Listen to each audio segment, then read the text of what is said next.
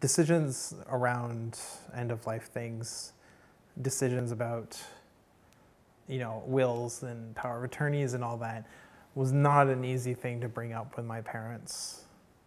Um, however, when it was brought up, it was an accepted thing. Um, you know, my dad helped me print out all the documents, all the papers, and everything. Um, and I think I gave them. I put, um, I, I, I, I gave them a bit of a, not a hand, not an out, but because they're they're not my power of attorney. They don't. They aren't. They aren't. Um, it's somebody else.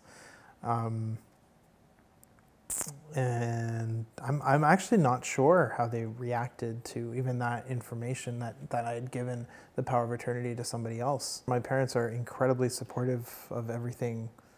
Um, everything I've done in the past, everything I do now and in the future. Um, a lot of times they put my own needs and desires ahead of their own.